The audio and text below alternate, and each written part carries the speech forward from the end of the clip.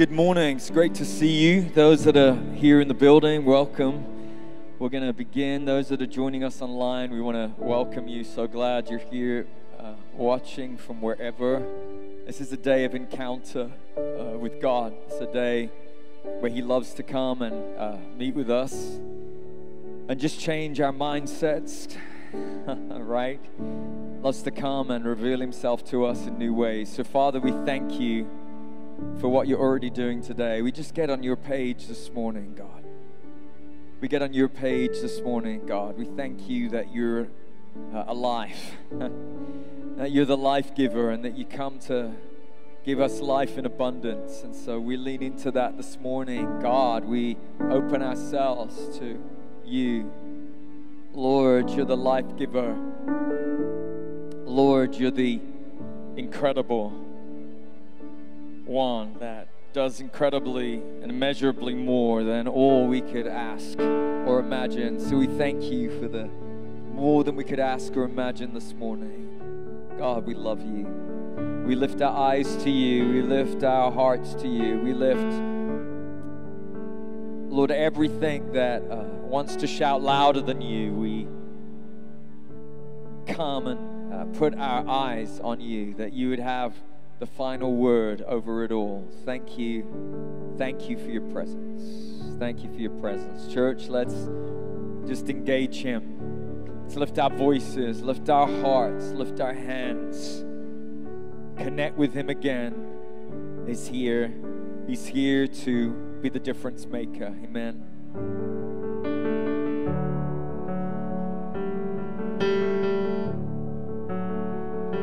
The weight of his.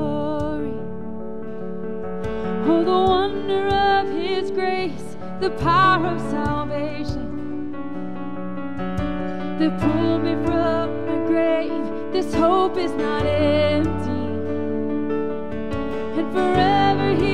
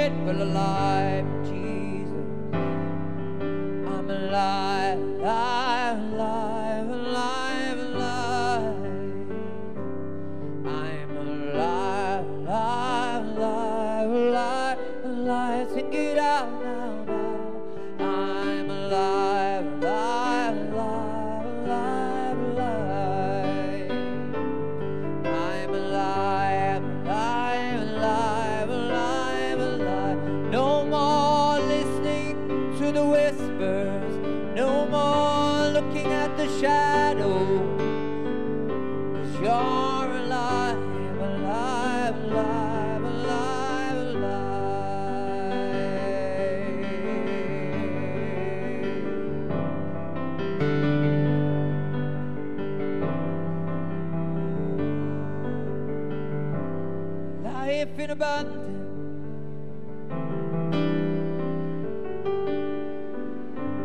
Life in a abundance, Oh, that is what you said. Life in abundance. Oh, that is what you said. That is what you said. That is what you said. That is what you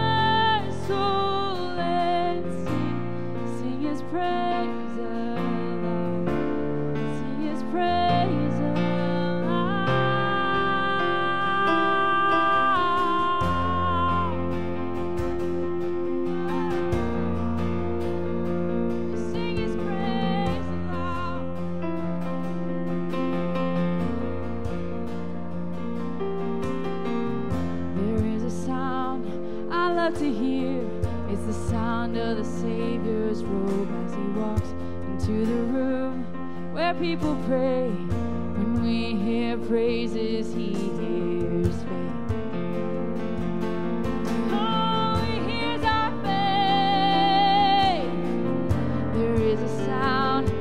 changes things.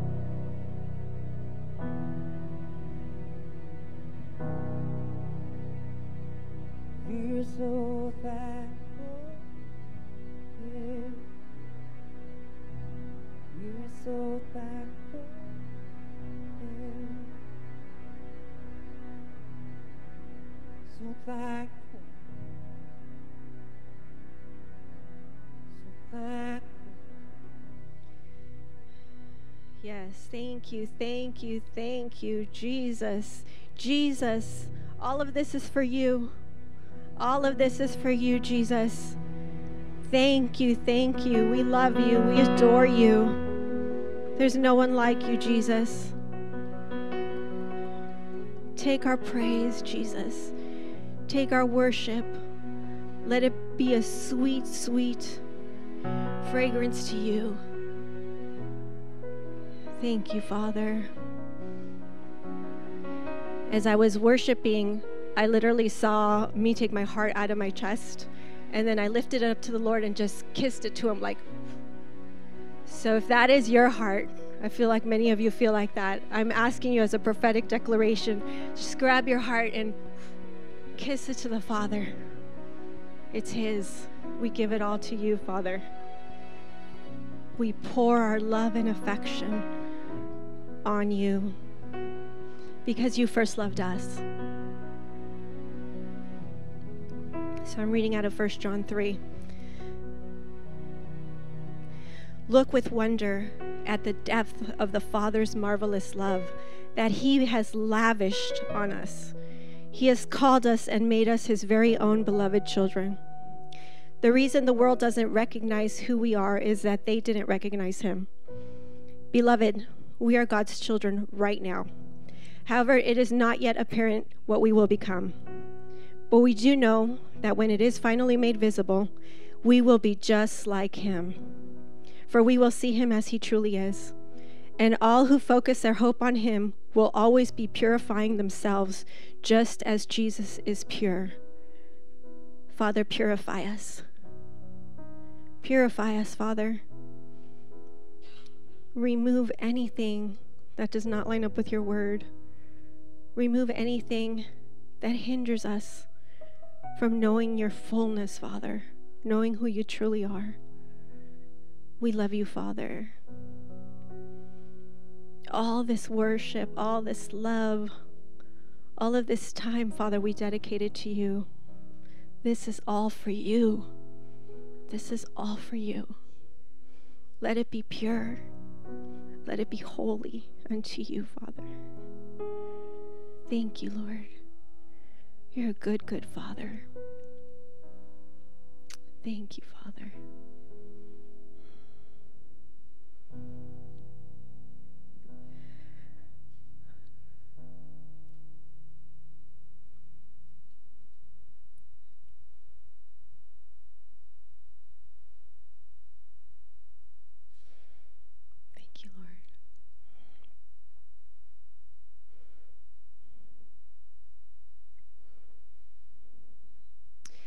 I feel that there is this sweet, sweet spirit of His presence here right now that wants to just love on you.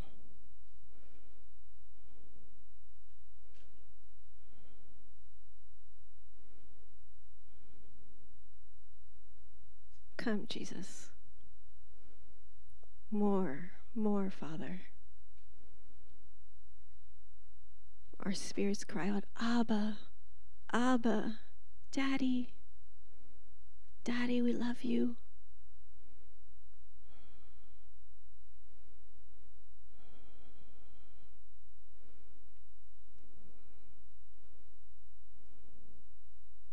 let his sweet presence just wash over you. Any cares and worries of the week, just hand them to him just like you handed him your heart. Lord, we lay all those places at your feet. We give them to you. Thank you, Father. Thank you, Lord. Well, we want to continue this place of awe and reverence and just wonder over our Father with our tithes and offerings. Father, we give to you just a portion of what you can give to us, Lord. Just a portion of what you give to us, Father. There are four ways to give, and uh, you can text to give. There's some envelopes and um, drop boxes. You can also give online, and of course, our app. You have some uh, QR codes right behind your chairs. Woo! Worship was good because I'm sweating. I'm sweating up here, guys, so I know worship was amazing. It was so, so good. Papa, you're so, so good. Today I give you my sweat and everything, just all of it.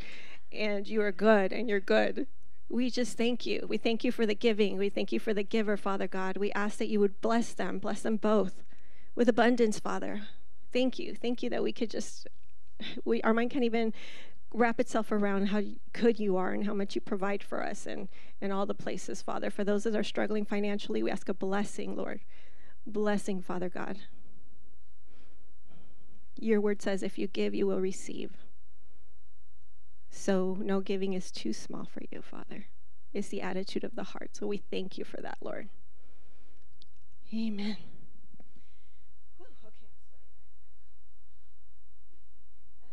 So I have a couple of announcements. Do I look all wet? I feel like I'm like like I just got out of the shower. okay, guys. So uh, we are going to have a prayer and worship night. I forgot to welcome you guys. Welcome, welcome. I'm out of it. I'm so sorry. Welcome. We're so glad you're here, guys. Your family. We love you. Welcome to those watching us online. I'm sweating. I don't know if we can have worship like that again. Okay, so let's see. Um, so, announcements. Prayer and worship night is this Wednesday, March 1st at 7 p.m. So, we get to continue this. And I don't have to speak, so that's perfect because I get just sweat in my corner over there. All right. And then Art of Hearing God is March 9th through 11th, and it will be taught by John Thomas and team. So you don't want to miss that. You can uh, sign up for that on our website. And true story, this changed my life. This, there's some teachings in here that I have not heard anywhere, anywhere. And I've been to several churches, and I just was in awe. I'm just. I'm so grateful. I'm so grateful for God's revelation and just the things that, you know, John has taught just have been life changing. So I really recommend that you take the class or take it online if you need more time, um, but it will just rock you. And also, uh, we are getting ready to do church lunch again. Yay! I know everybody missed that. So it's going to look different this year. Um, we are going to open the church a little longer on March 12th, I believe. That should be a Sunday, March 12th. And if you want to run out or if you want to bring your lunch, you can always use the uh, refrigerator over there, or we will just leave the doors open so we can all come back, bring your lunch back, and we could just fellowship together. If we end up playing games, good. Whatever, whatever happens, happens.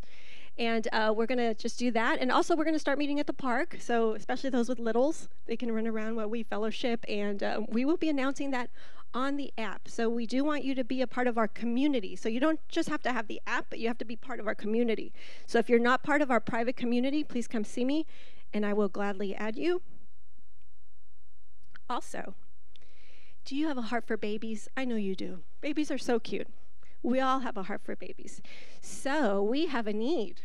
And these babies would love to have some volunteers come in who carry the heart of the Father I mean, their little spirits are so open to receiving, and it doesn't take a lot. It's it's more than just changing a diaper. It's about just sharing what is inside of you with them. Whether you can sing them a lullaby, whether you want to play a craft with them, just tell them about Jesus.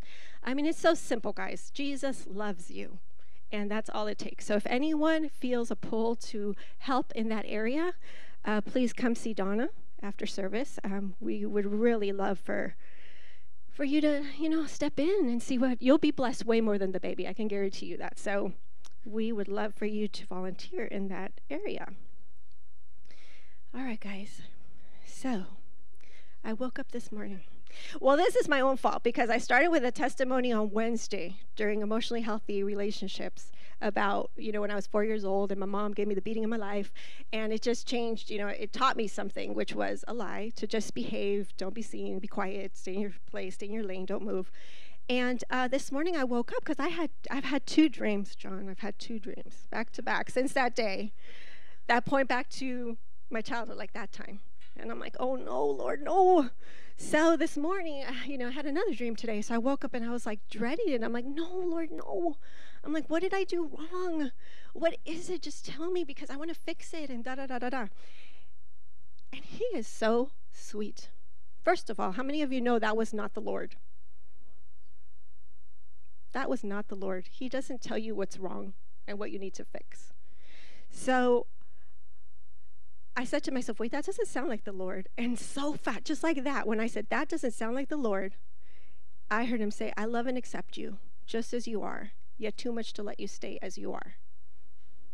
Just sweetly, he said that to me.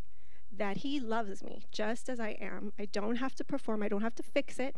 I didn't disappoint daddy. He's not mad at me, which is what I was thinking in the morning. But again, that goes back to what I shared with, with you guys from being a little kid like, oh, someone's mad at me. I can't take it. And um, he's so sweet because then I got John's voice in my head that says, The Father corrects those he loves. so I said, okay, okay, John. So um, he loves me. That was the whole point, guys. He loves me. He loves me. He loves me. It's not that he's upset about what I'm this lie I'm believing or, or that I might be performing out of. He just loves me. And that's just another proof. So I encourage you, if you feel like the Lord is highlighting some things, it's not because something's wrong with you, it's not because He wants you to fix it. He's just showing you that He loves you, He wants you to live in His full abundance. And then I saw a picture of the prodigal son, and I remembered how he was still far away, and the daddy went running towards him, right? And back in the day, back then, that was not what the father did. That was like really humbling himself. I think the word, it was undignified to do that back then, for a father to run for his child. And uh, I love that because I said, wow, Lord, you're, you're willing to be undignified for me and run after me, even though I'm believing this lie or whatever it is. Why? And I should be able to be undignified for you. So that was kind of like the dance this morning was, you know, I'm just going to be undignified for you because you're undignified for me. Because you, I'm never too far that you won't come get me. So um, he doesn't bring up past failures, he receives you. And um, there's sonship. My first thought was from an orphan spirit. The second thought when he talked to me was a daughter. And uh, I just want to encourage you guys. You guys are all sons and daughters. He loves you. And whatever He points out, He's faithful. He is going to complete the work and He's going to gently rearrange our mindsets. Amen?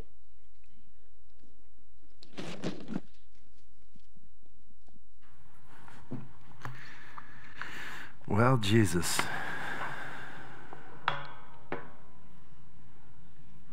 It's a fun thought, isn't it? That just like David got undignified out of his love and passion for God. God shows himself to be undignified out of his love and passion for us. That's astounding. We're, we're starting a series on worship, so it kind of led right into that. Um, and I have a lot of things that I want to say, but I'm going to keep to some things for today. But when we think about worship, an overarching theme we're going to come back to a few different times is this the, the recognition that we love because he first loved us. That worship isn't merely a duty, it, it isn't merely an activity to earn something, to look like something, to placate someone. It's actually a response of the heart to the love that He gave us. And if we can hold that central, I mean, that, that one thing, that one truth would be enough to, to teach a lifestyle of worship. Uh, I want to talk about worship a little bit. Um, well, for a lot of reasons. One, it's actually core to what it means to be a, a Christian, a believer. We were created to worship something. And everybody worships something. They just get to choose whether they're worshiping money or fame or their intellect or whatever it may be. Absolutely everybody is worshiping. The only question is what they're worshiping. And that is the reorientation of the Christian life, is so that our life becomes worshiping Him, not other things. You shall have no other gods in front of me or besides me, and in opposition to me, that He is the object of worship. And, and discipleship is constantly bringing our hearts back to that place where that is the core, that is who we are, that is what we're doing. If you want, turn, turn with me to Matthew chapter 22, because there's a, a core understanding to this that I, w- I want to pull out of this passage. Uh, uh, a very common passage talking about the greatest commandment. We're be, we'll start in verse 36. Teacher, which is the great commandment in the law? Now, you have the Mosaic law that, that this person is talking about, where God had called a people out of Egypt so that they could worship him. They get to the mountain, he shows up on the mountain, and then he explains this is what a life of worship looks like. And it was a complete reorientation of everything about their life. And so when you're asking what's the greatest commandment, you're asking what is the thing that I can do for someone that understands the law? What is the thing that I can do that's going to most show my devotion and love for this God that I say that I worship? Teacher, what, what is the greatest commandment in the law? And he said to him, You shall love the Lord your God with all your heart, with all your soul, with all your mind. This is the great and first commandment. And the second is like it you shall love your neighbor as yourself. On these two commandments depend all the law and the prophets. The, the whole point of everything related to the law, according to God, is, is orienting our lives, all of our lives. Everything that we think, everything that we feel, everything that we desire, the, the activity of our inner life and the activity of our bodies around loving God. That the greatest commandment is a life of worship. And that understanding must be a bedrock for anything that we call Christianity, or else it ends up being something other than what God intended. Because as soon as Christianity becomes about anything, the worship of any God becomes about anything other than affection for our God, we end up in weird places. When, it becomes about power, we end up manipulating, abusing, and destroying those that aren't like us. When it becomes selfish, we end up judging and separating and calling ourselves great rather than recognizing His greatness. Anything other than love for God, and that being not, not just the goal, but the engine that gets us there, is going to take us into a place that we should not go. So, what is worship? The basic definition of, of worship, if you look in a dictionary, it's an expression of love. Now, we'll, we'll often say something like we have our worship service on Sundays. This understanding that all that we do is, is worship in the service, which, which is, there, there's, there's something that's accurate to that. But we talk about worship songs, and we think of worship as a type of music. You can find that category on your iTunes, right? It, it's, a, it's a type of, but that is not worship. That is an expression of worship. Worship itself is merely an expression of love. It, comes from an English word to mean the worthship, the scope of worth that we give to the object. How, how much is it worth? It, it, it comes out of this idea of value. How much value do we give? And so our worthship, our worship, is giving our worth what we think that the object is worth. The English word for praise also comes from a Latin that means price or value. It's this idea that, that worship has to do with giving value to someone. Now, we're talking about God. You can worship all kinds of things, but what are we giving value to? And that becomes the test of worship that what we give value to is Him above anything else. And so we can find out if our heart is a heart of worship by comparing the value that we give to Him versus anything else in our life. The passage Jesus quotes here in Matthew 22 comes from the Torah and Deuteronomy 6, verse 5.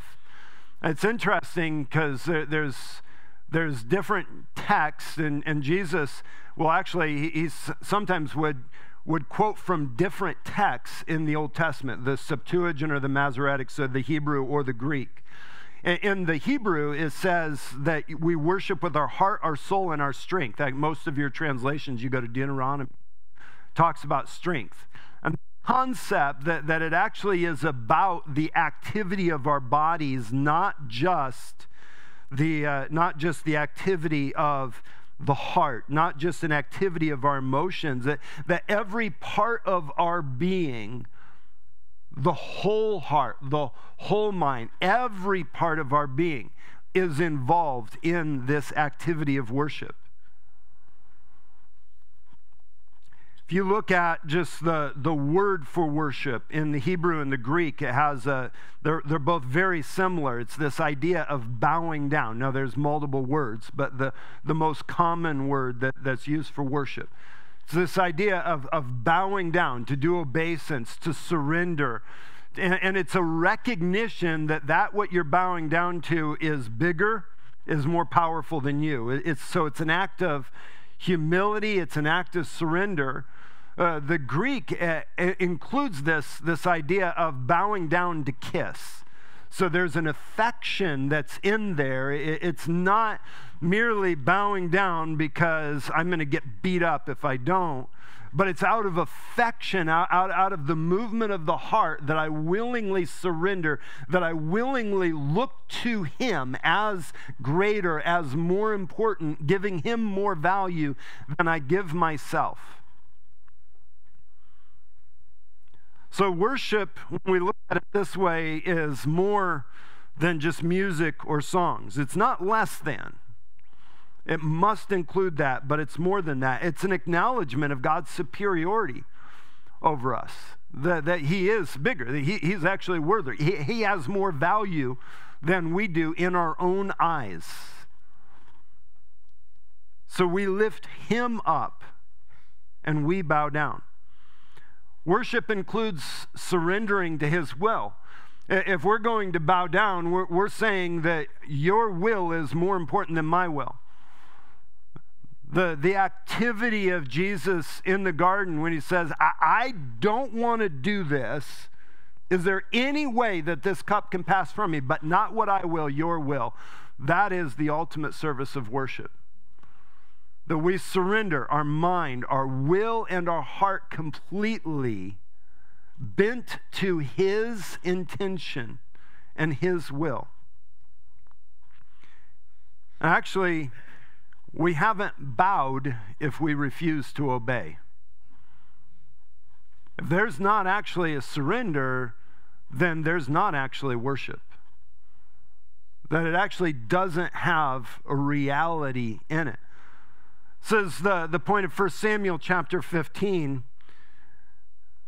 In 1 Samuel, Saul is king. Oops, I went to chapter 10. That's not going to work. 1 Samuel chapter 15, and I'm going to be in verses 22 and 23.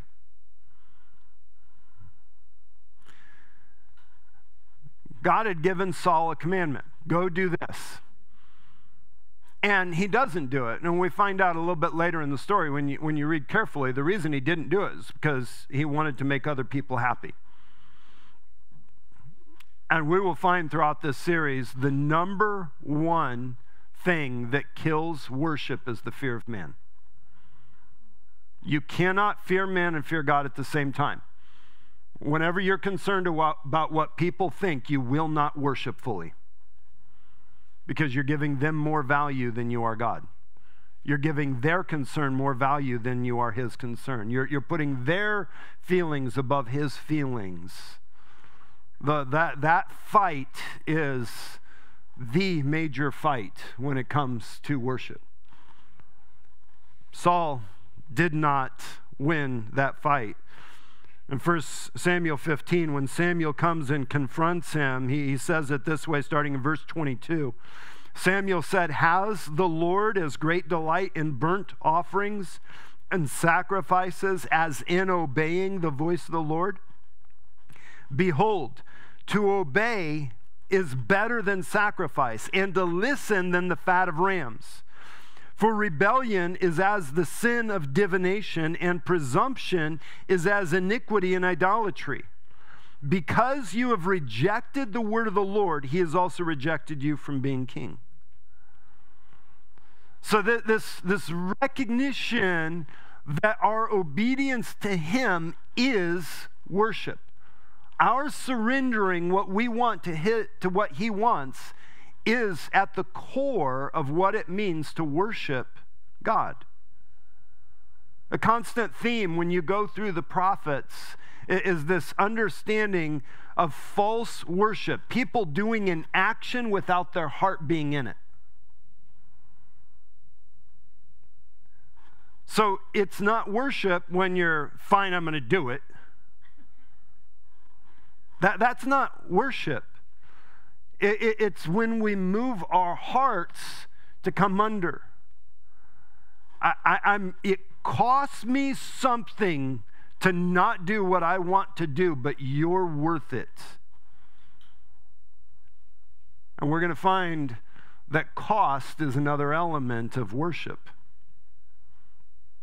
So it's a surrendering to his will. Service is considered worship serving Him, serving God, is considered worship. One, one, of the, one of the senses of one of the words for worship in the Hebrew is to choose slavery. That, that's actually the sense of the word that you're choosing to become a slave of the other, that that is worship.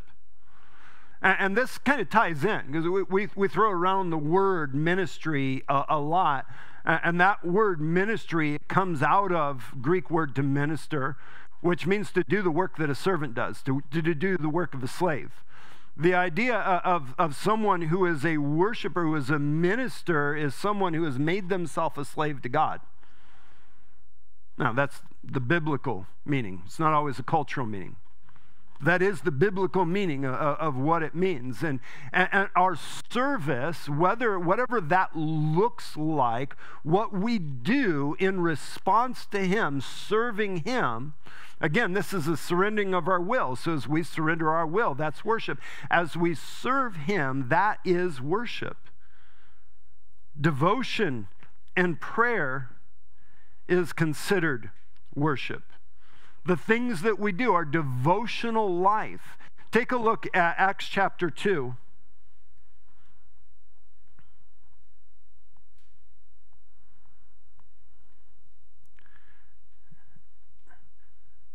And this is,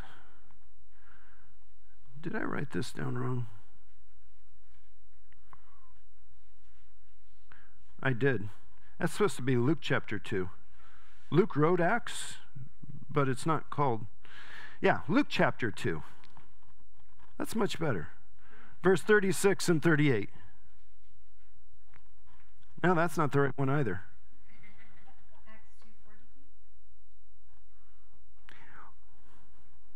Well, the passage that I was looking for is the passage where it talks about Anna being in the temple. Oh, and I'm in chapter 3, no wonder. That's going to hurt. It is Acts chapter 2 instead of Acts chapter 3. Yeah, Acts, or I'm sorry, Luke chapter 2. Boy, I'm really confused. Can you tell this? Luke 2, 36 through 38. I know what it's supposed to say, just when I was looking at my, it's like, that's not what it was supposed to say. Okay, 36 through 38. And there was a prophetess, Anna, the daughter of Phanuel of the tribe of Asher. She was advanced in years, having lived with her husband seven years from when she was a virgin, and then as a widow until she was 84. She did not depart from the temple, worshiping with fasting and prayer night and day. Her fasting and prayer was her worship that life of worship, that, that devotion that she had completely reoriented her life around God, surrender, absolute surrender in, in, in essential things her time and her hunger. Now, if you've fasted for, well, usually it's when you first get really hungry at six or eight hours that that that start you start to feel it. And then the second day and the third day where you're you're just struggling. There's cost to fasting. After three or four days then it kind of gets easy until somewhere between 14 and 25 days. Then it gets hard again. And then it's a real cost to fast Imagine spending 84 of your years of your life in prayer and fasting. Simply because you love God. You just want to be with Him, whatever, whatever it takes. Not out of, I'm trying to earn something, but out of, I, I'm so caught up with this God that I'm going to ignore what I'm feeling right now so I can spend time with this God. Not out of trying to manipulate God. She wasn't trying to get something, she was expressing her love. It's worship. I already mentioned that worship includes sacrifice. We, we talked about the, the Israelites coming out of Egypt. When, when Moses went to Pharaoh and told him, hey, let my people go free, this is what God says, because they need to go worship me. Well, what do you need to worship? Well, all of us need to go with all of our animals, all of our flocks. Their worship was the sacrifice. So there, there's, there's a sacrifice that's involved. Now, when, when you understand how God intended that sacrifice, almost all of the sacrificial offerings in, under the Mosaic law, the offerer got to eat of. So your sacrifice doesn't mean that you get nothing out of it. There, he wants to share it with you. Some of it was for him, it got burned up. He got to eat that part. You get to eat part. And then whoever the priest was that, that was doing the work they get paid for their wages, they get to eat part. And some of them you were actually supposed to get other people, either the poor or the family or your family that would come and would eat with you. So the sacrifice, there's a cost to it. But that cost is not that we go without, it's that we've set this aside for Him, for His purposes. And I don't get to do whatever I want with it, I get to enjoy it the way He wants me to enjoy it. And out of that enjoyment, we find that our worship is fulfilling, not just emptying. If worship is only emptying, something's not being done right. There should be a filling that comes with it. It's a mutual thing. So, the, the thing about worship is it's interactive. We're, we're actually with a real person that our worship is unto a real person. It, we're not worshiping a concept. We're, we're not doing something where the other person that is the object of our affections isn't actually there. That, that he's actually involved in the whole process, that there's, it's a relational thing. It, it's not just an activity that's not connected to this other. So that, that back and forth I, I, mean, it's, you know, sometimes people get distracted and you tell somebody, you know, I, I love you, and they just ignore it. In distraction, that, that could be fine. But if you never have a response, you're going to start to question if the other person cares about you. And you should. So in our worship of Him, He responds back to us. We get undignified for him, and he's willing to get undignified for us. He's so willing to get undignified for us that he hung naked and brutalized in front of the whole world to say how much he loves us. His devotion to us was exemplified in that. And it didn't end there. Because it's not like he only has so much devotion and he wasted it all at that one time and he's got nothing left. His love is continual. That there, it's, it's, that there's no end to it. And he's continually revealing and expressing that love back to us in our expression of love to him.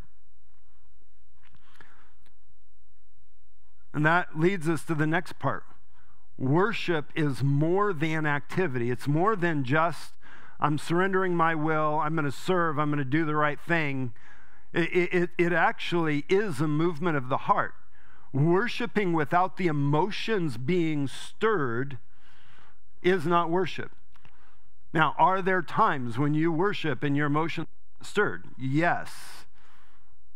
You, you do things that you don't want to do because they're the right thing to do. That's called maturity right? That, that, that's not religion, that's called maturity. But in that place, if we never have an experience of our hearts being moved towards Him, we must wonder if we've ever experienced His love coming to us. Because we love Him because He first loved us. And so, in, in, that place, if we've not had that experience, the, the, the answer is not to do more and try to to, to fast more and, and whatever, sacrifice more and get more activity, more activity, it, it becomes at that point, I need to learn how to receive. Because your capacity to receive love is going to determine your capacity to give love. Simon, there were two people that owed their master one a little bit and the other a lot, and the master forgave them both. Which of those loved the master more? Remember this parable? The one who has forgiven much. The one who felt the love the most is going to express the love the most. That's the principle of worship. We're supposed to worship with all of our hearts, which means that we actually get involved when it becomes empty activity and our hearts are not moving, there's something going on, and we need to figure out what's going on. We need to figure out what that root is and, and, and find that answer to that thing. Is there, you know, is there grief? Is there unforgiveness? Is, is there something, uh, have we judged God? There's all kinds of things that, that may cause that. Sometimes it's just pain. We're just, sometimes we're distracted, we're worried. In any of those things, we come back. What, what is it that's holding my heart? How can I bring my heart back into worship?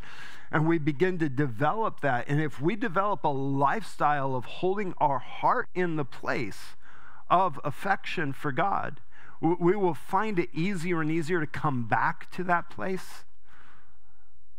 When it's a random thing that we do periodically, once in a while, it, it's, it's harder. to be able to get there. But if we maintain that sensitivity, if we're constantly bringing ourselves back to that place, in that place we experience something differently. We don't always feel it, but if we never feel it, there's a problem. Does that make sense? Sometimes our emotions get stirred and it causes worship to explode out of us. Sometimes we start to worship and our emotions get stirred. And they're both good and they're both right. Whichever way, our lives should be worship. What's the greatest? What's the most important? What's the weightiest commandment? Love God with everything you've got. You know, that, that concept I love you, but I don't like you. That's nice religious talk as an excuse for bitterness.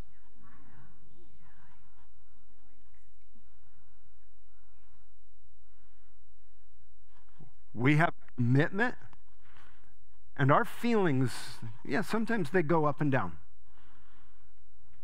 There's, there's movement. Where the commitment stays 100%. But if we're not coming back to the place of feeling, then there's something wrong right here. Something, something isn't right here. And so it becomes a test that we find where we're at with God. Worship is attention, setting our focus on Him. It, it's adoring Him. That word adore I, I love history and, and the roots of words. So, adore, it actually comes out of a Latin word that means to pray. That, that word, that, that word we use, like I adore puppies, I adore whatever it is. Usually, when we use that word, we're talking about that feeling of, like, oh, yes, it just makes me feel good inside, right? The root of that word was the devotional life of people of prayer that we're worshiping God. That, that's where that word came from. That, that's what this is supposed to look like. It, it, we, we get our attention. He gets our attention, and everything becomes about Him. First Chronicles, and I actually wrote this one correctly. First Chronicles chapter 28, verse 9. And you, Solomon, my son, know the God of your father and serve him with a whole heart and with a willing mind, for the Lord searches all hearts and understandings, every plan and thought. If you seek him, he will be found by you. But if you forsake him, he will cast you off forever our whole heart, our whole mind, our whole focus, our whole attention, that, that our whole lives are oriented around that as the baseline of who we are. We are worshipers first, and everything else comes out of that. Everything else becomes an expression of that worship. That's why Paul could say, Do your work as unto the Lord. That's an expression of worship worship. When you show up and you're doing whatever you're getting paid to do, that is worship. That do it out of reverence, serve one another out of reverence to the Lord. When, when you're interacting with other believers, that interaction is an expression of worship. How you interact with other people tells you the worth that you give God and the worth that you give that person. It's worship. We seek, we serve with a whole heart, and when we do, we find Him.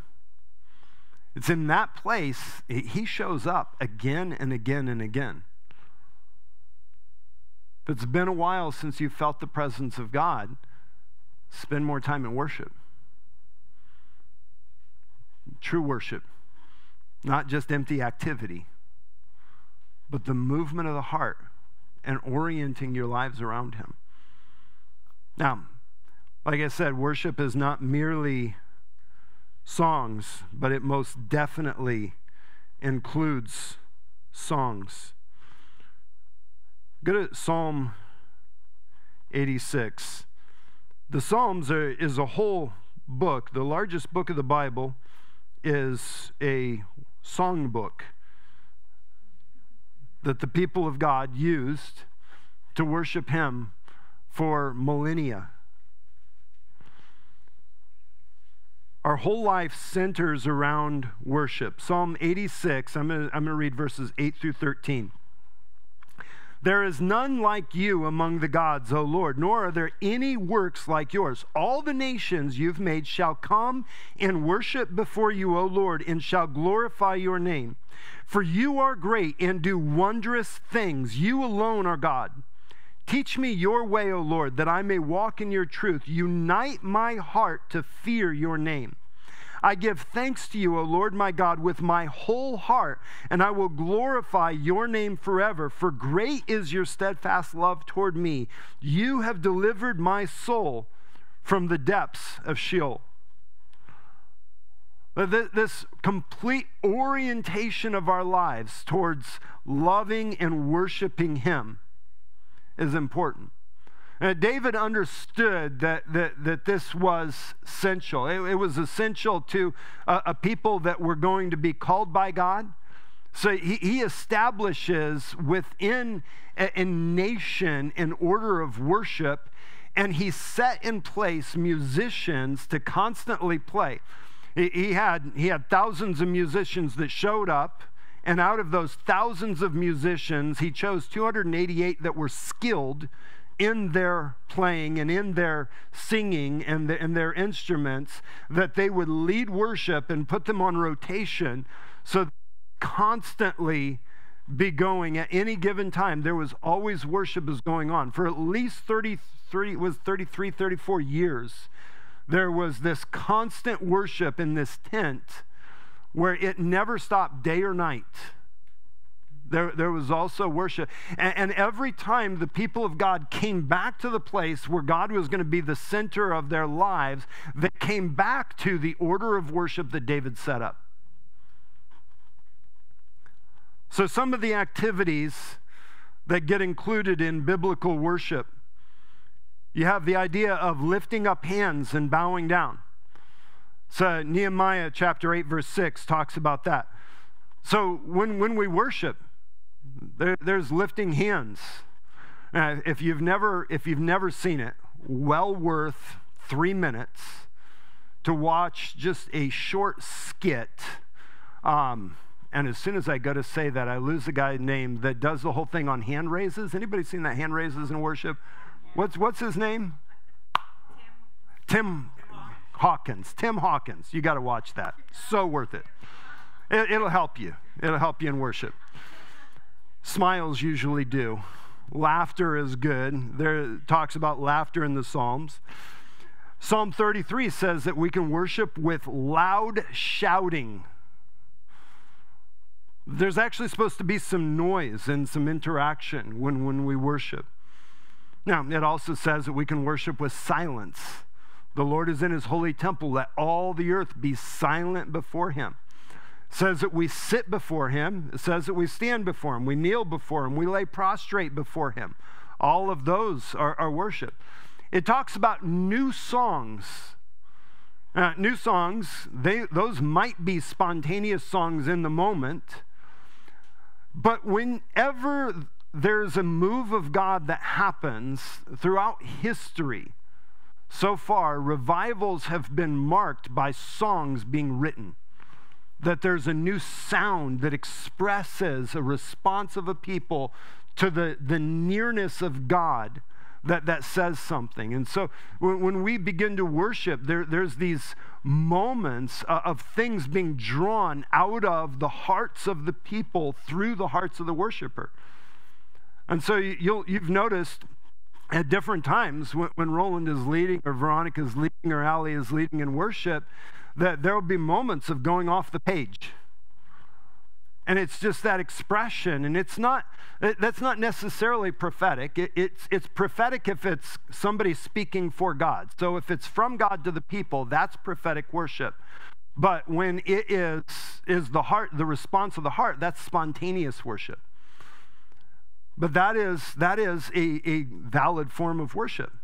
Psalm 149 says that dancing is normal in worship.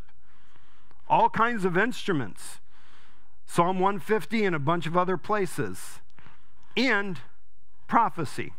First Chronicles 25 1 says that when David appointed the Levites to play their instruments, it actually doesn't say that he appointed them to play their instruments in, in, in this passage. First Chronicles 25 1 says he appointed them to prophesy with their instruments.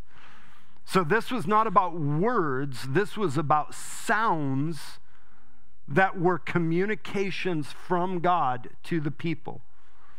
And there's a sound that gets released sometimes that awakens, it actually releases the atmosphere that's in heaven into the earth, and we become more aware of the presence of heaven because of something that's carried on the sound. And we'll talk more about that. I don't follow that rabbit. I'm just putting a marker. We will follow that path another week. Because we're, we're going to be, it's going to take us a little bit to talk about worship.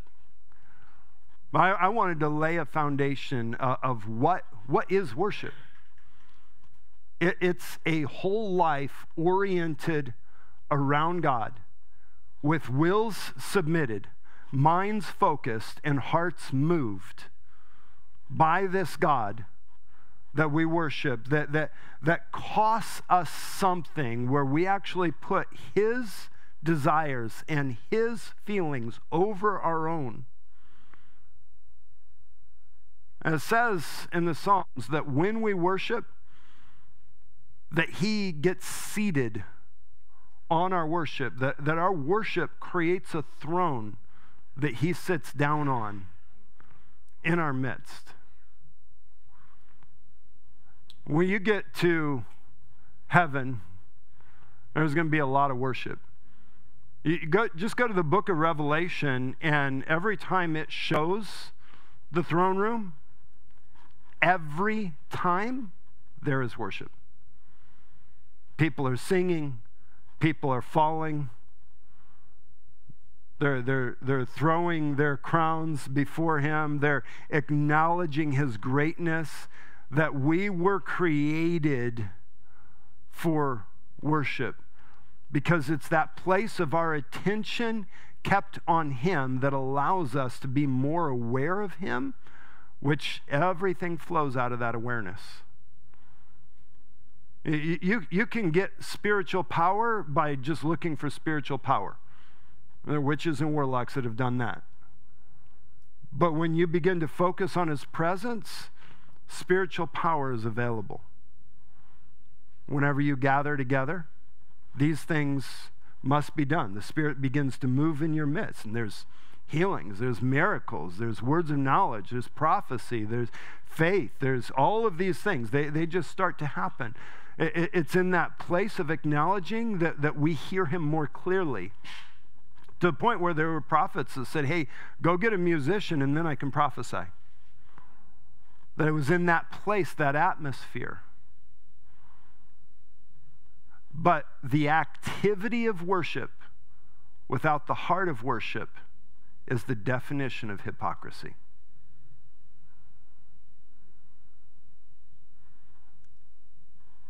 And if there's one thing that we get out of this whole series, is that our lives are oriented around Him. And that is a life of worship. Amen? Amen. Well, Roland, do you mind maybe leading us in some worship? I think that would be a good response. Let's worship a little bit more. while he is finding that, I'm going to read this little spoken word thing. The fear of man will have no hold on me. My heart has been set free. Intimidation will not hold me down, and fear will no longer drown my praise. I choose to let the fire of passion consume my inhibitions like the anointing melted the ropes on Samson's hands like wax. Their looks and their thoughts, what will they say or do, no longer has control of my worship, my actions, the path that I choose. Those that fear the Lord will be bold, and I will walk free. No longer a slave, a marionette to popular opinion or the corporate they. The strings have been cut, the contract canceled, nailed to bloody wood, and buried in a grave, no longer to see the light of day. I am not theirs, and they are not mine. I am his, and he is mine. The eyes of my Father are all I see, the heart of my Abba, my only concern. Traditions of man and expectations of religion are weakening and gasping for breath as the breath of God breathes in me and I see his glorious freedom, for it is for freedom that I have been set free. I do not perform for praise or shrink from criticism. I live for one. I perform for one. I don't work for acceptance. I've been accepted. My value is not in question. My reputation is not a consideration. Love is the only control. The debt of worship to the Holy One, my only motivator, the fear of man, has no hold on me.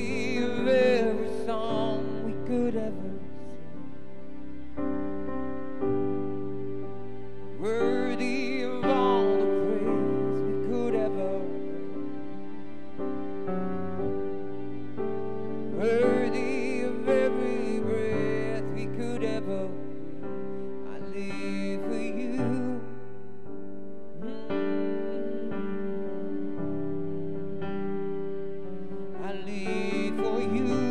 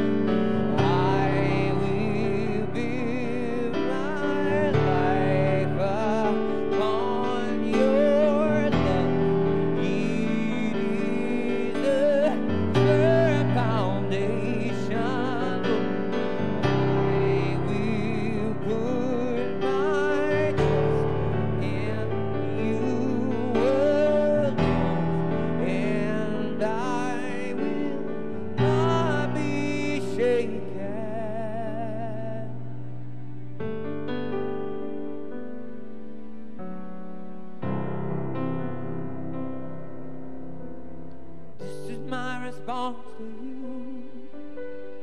This is my love back to you.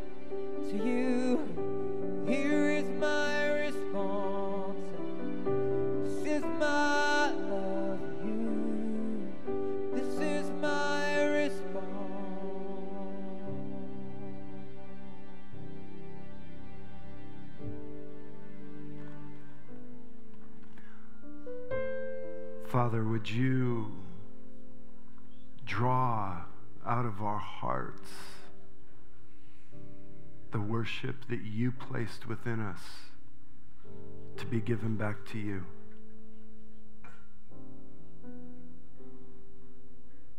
Lord, would you anoint us to love you well?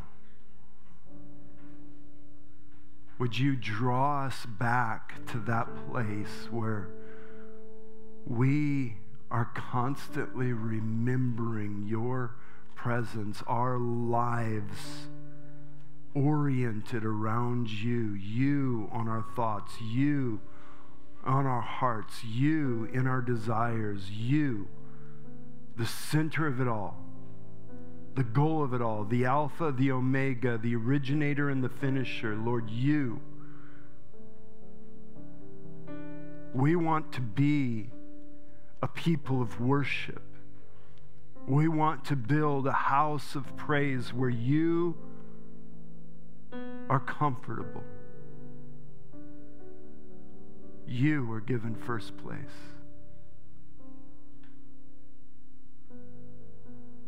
Lord, I'm asking that you would release grace upon this family that you're building to worship you well. Lord, we thank you for the invitation that you've given us to draw near to you, to seek you out, that you would draw near to us, that you would be found by us. We just say yes to your invitation. We say yes to your invitation. We will seek you. We will seek you.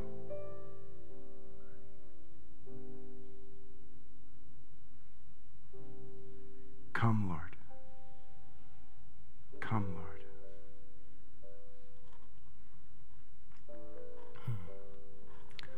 We always want to have time for ministry. We bring the sacrifice, but we get to eat with Him. He's always good and coming and meeting with us when we come to meet with Him. So if there's anything that you want prayer for, um, how about we do this? If you've been released to pray, would you just stand up? And we'll have people come to those that are standing to get prayer. That's you too, if you want to.